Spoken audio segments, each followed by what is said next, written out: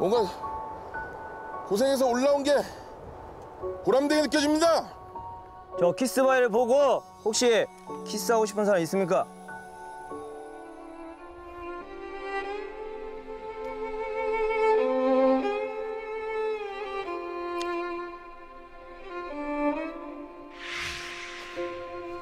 있습니다.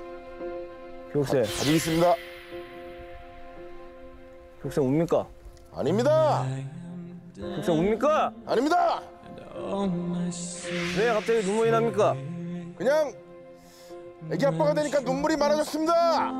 어린이집을 데려다 줄 때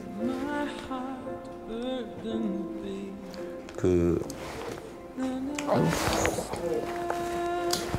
그냥 약간 인사치레처럼 하는 그 뽀뽀가 애기들하고 그 너무 그 소중했던 거라는 게 느껴집니다.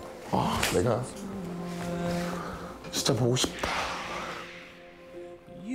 아들, 딸에게 한마디씩 해봅니다. 아빠 사랑한다. 꼭 해낼게.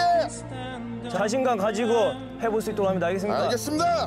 무시할 할게 할수 있다 불어. 애기 아빠의 힘을 보여줘라 자, 할 수 있습니다. 알겠습니까? 할 수 있습니다. 유지합니다. 교관 손 놓습니다. 알겠습니까? 알겠습니다. 무릎 핍니다. 자, 아가! 하가.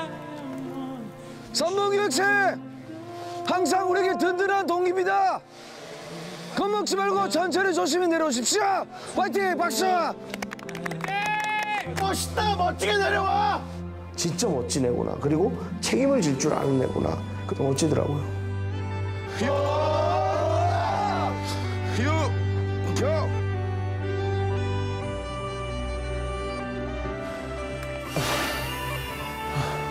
비록 올라가진 못했지만 하강을 하는 모습 보고 아 저게 아, 아빠구나.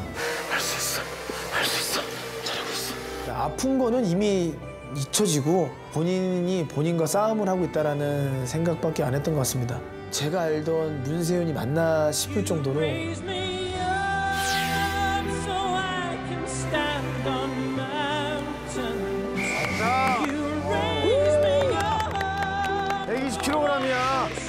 잘했다 한번 육생 하가 끝.